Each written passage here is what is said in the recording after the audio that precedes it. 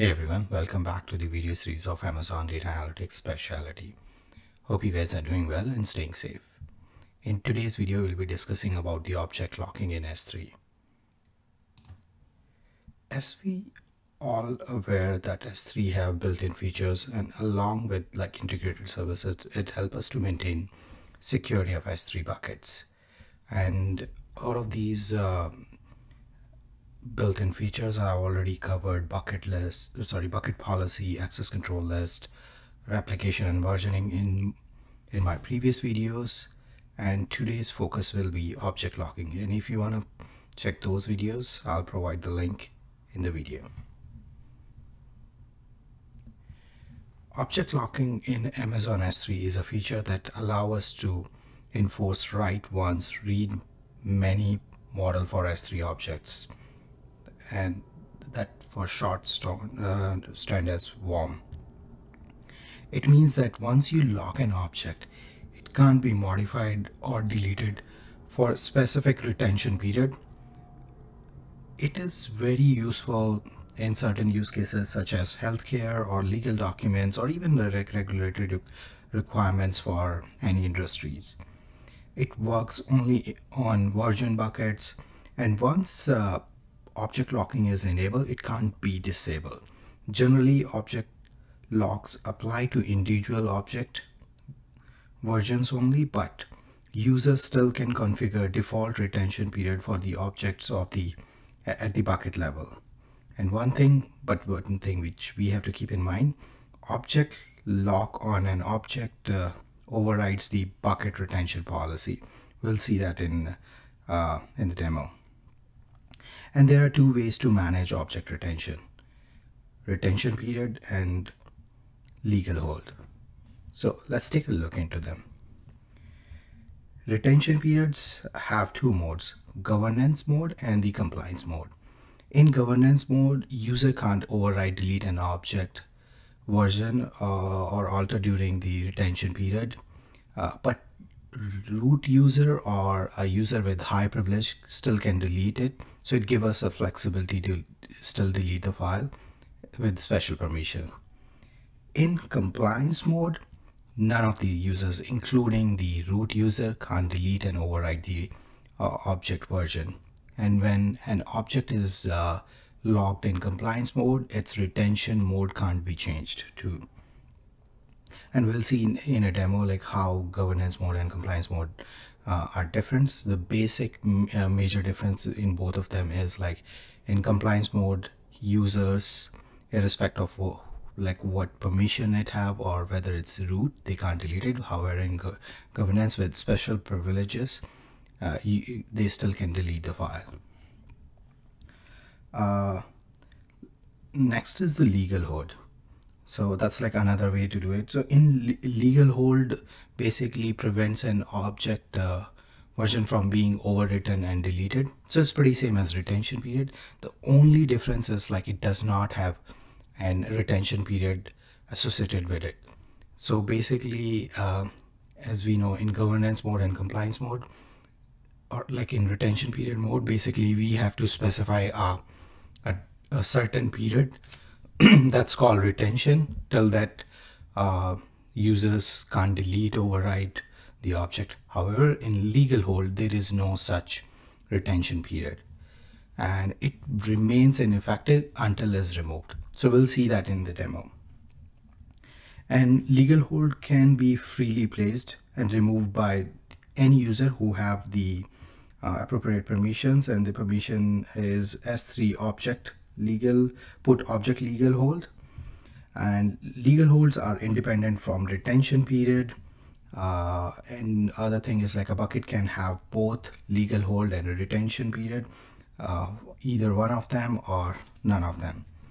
And uh, to understand this like we can uh, so for example our a bucket or version have sorry an object version have a legal hold or we can say a, a legal hold is on the object version even along with the retention period. So even if retention periods expire, the object does not lose the WORM protection because it has not been explicitly removed. okay uh, that's like one of the use cases or like you can think it about like a question comes in the exam where it says a company needs to store its accounting records in Amazon S3. No one at the company, including administrative users, root users, should be able to delete for 10, year, 10 years, entire like 10 year period uh, for regulatory reasons, let's say. So what will be the like best solution for that? So we have four options and as we know, like object like object lock in compliance mode is the best solution because in that case even like root users or any user with any specific permission won't be able to delete it. However in governance mode users uh, with special permissions can delete it. Okay let's jump to the uh, demo. And one second. Yeah. So we'll start with a new bucket uh, uh, as just to understand like where it is applicable so we'll give it data tech demo. Let's say 44 that's the by bucket name. We keep everything as it is but we have to enable the versioning. That's like uh, one condition like a uh, object lock can be applied only those buckets which are version which are version enabled. And after that we click on advanced setting and by default it is disabled we have to click on enable and accept and acknowledge it. Okay? Just click on create bucket. Okay? Now let's go to the bucket. So in this bucket um, as we saw like uh, one second. Like as we saw that uh, we enable the object load uh, uh object lock so where we can see that like click on the properties scroll down. Here you can see bucket versioning is enabled. And if we go here like if we scroll down you will you will find there is an object lock which is enabled. And as I as I said previously like once it's enabled we can't disable it so let's try to just let's see how how that works. If we click on edit and you can see there is a pop-up which says once s3 object is enabled you can't disable or suspend this.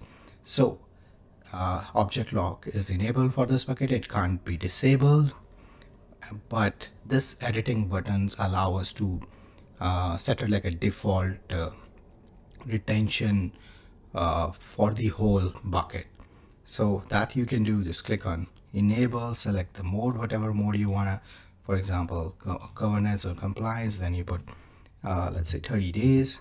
So what basically it means like all the objects in this bucket will have uh, governance mode uh, like uh, by default and retention period will be 30 days. Uh, so this can be done if uh, you want to apply object locking at the bucket level but we'll I'll show you it's more useful like when we apply it at the object level. In that case we can have uh, different object locking options or uh, different locking things. I'll say different locking retention periods or uh, like a legal hold based on our requirements. Okay so I'm not going to save it but I just want to show you uh, like how we can apply object locking and retention period at uh, at bucket level. So this is like and this is like how we can apply retention period modes on bucket level. And I'll cancel it let's we go to objects one more time. Now we will upload two objects. Let's upload these two files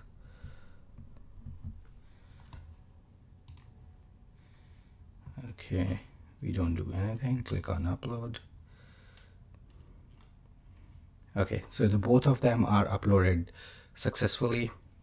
And now I'm gonna show like we can apply retention period or legal hold uh, individually to our object. So we'll go into this. So we, we going into the our first object. Then we scroll down in uh, properties. Like if you scroll down you will find that like there are two options. One second. One is called object lock legal hold. The other one is object lock retention. So if you click on edit if we enable this that will enable the legal hold. And as I mentioned we can have both legal hold and retention together. And legal hold does not have any retention period so you can see we don't have any options where uh, it is asking for how many days it uh, we need to retain the object. And uh, uh the other thing is like we can disable it. Until it's not disabled the WORM uh, protection is there for the for this object.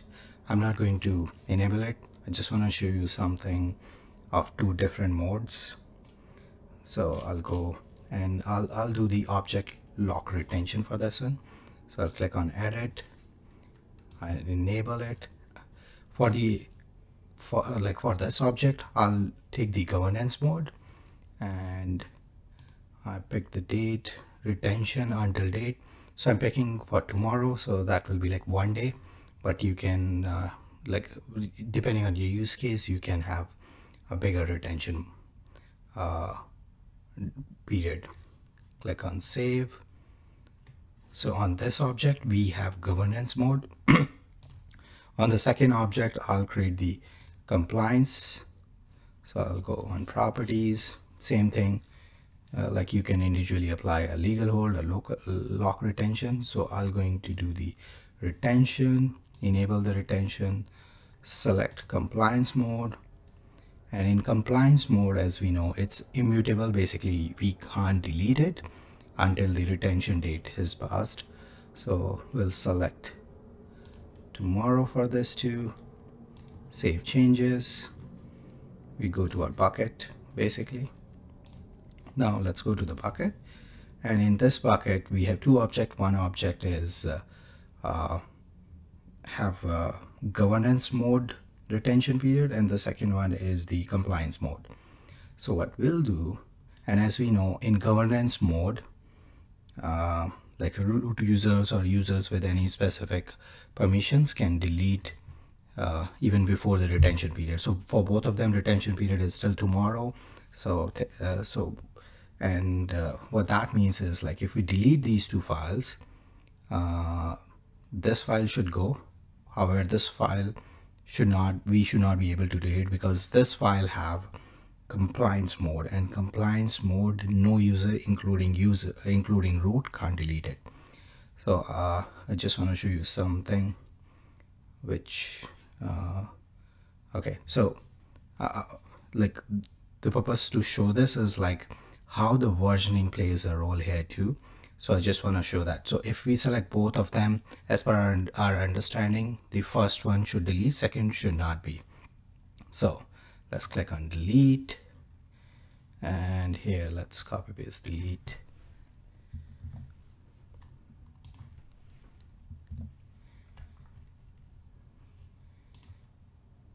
Okay awesome. Now anything failed to delete? So it it like it's basically deleted both of them. So if we go here you will see our one second like it's loading. So you will see our bucket is empty but that's not the case. If you click on show versions like you will see both files are there with delete markers. So original files are retained and uh, uh, however we still have the delete marker. So as we know delete marker is basically uh, is the it in delete marker if we delete the delete marker it will bring back the original file. So in this case what we will do we'll delete all of them. So for example if we deleted just these two it would bring back these original versions. But I want to show you that we want to delete all these files and if we click on delete and so far like from object locking perspective they both are there.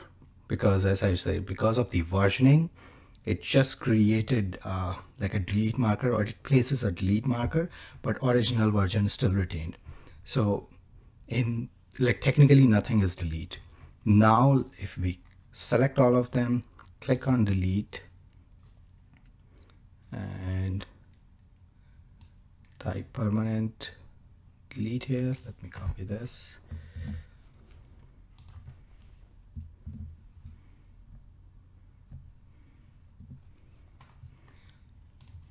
And see you see objects are deleted but with one error. So it failed to delete this file which have the compliance mode retention policy so that's what I want to show you. Sometimes people get confused. Let me go back to my bucket.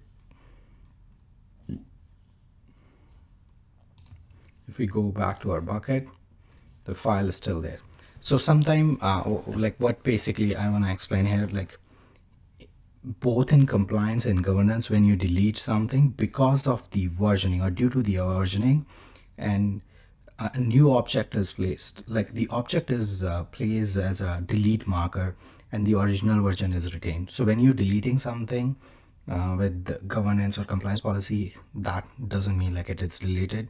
If you check the like the version you will see now like it's not there but like in the uh, as you saw that you will see the delete marker and the original version. So if you have to delete it completely you delete the uh, original version along with delete marker. And as we know in compliance mode user can't delete uh, uh, user can't delete the objects irrespective of what kind of permission they have. And that's what we seen when we're trying to delete it. Uh, it's unable to delete.